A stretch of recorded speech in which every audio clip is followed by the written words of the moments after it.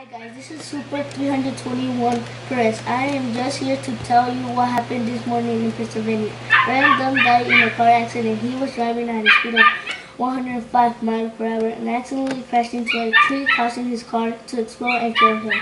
Ryan lived through 1977 to 2011. Rest in peace, Ryan. For all you people that don't know who Ryan Dunn is, he was in Jackass and has a long bushy beard and we just wanted to share the news with you. Thank you for watching and, and please subscribe.